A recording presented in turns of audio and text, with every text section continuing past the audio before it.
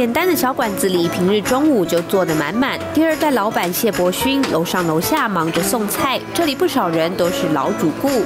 最具代表代表性就是姜丝大肠啊、梅干扣肉啊，还有那个客家小炒，那炒的非常好吃，我们吃了几十年了。这样，我也很会做菜，可是我就做不出这种菜。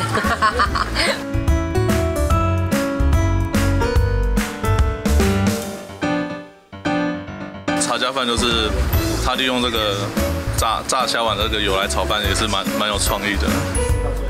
炒虾，而且要大只的哦，小只的还不行。越大只的炒虾试起来味道就越好。有一天小朋友想要吃寿司，他说我要吃飞鱼卵寿司哦啊，那我就煮飞鱼卵茶下饭给你吃好了。就就因此哎觉得哎调和起来，发现它那个整个那个口感的。还有那个味道的层次又更丰富。虾的鲜甜刚好盖掉苦茶油的气味，爆苦茶油的炒虾爆到沸腾，马上把铺有飞鱼卵的饭拌到油中，这时才是考验真功夫。单手要持续甩锅至少六十到七十次才算大功告成。你饭呢，就是我们一直炒，一直翻，一直翻哦。它米跟米在碰在一起哦，一直碰，它用热度哈，它就会一直 Q，会也也收它，它一哈就是会粒粒分明又很 Q。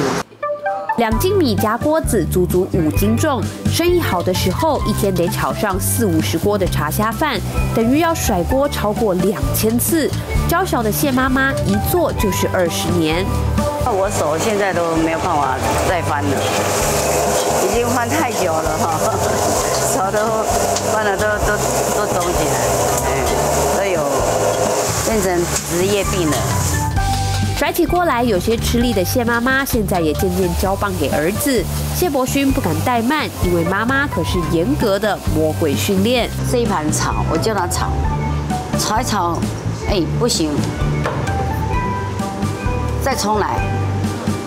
一盘菜差不多要炒了将近十盘，我认为说可以的时候，我说哦，这个这样子就 OK 了啦。这么严格？对呢。这个哈口味哦，我们的口味最重要。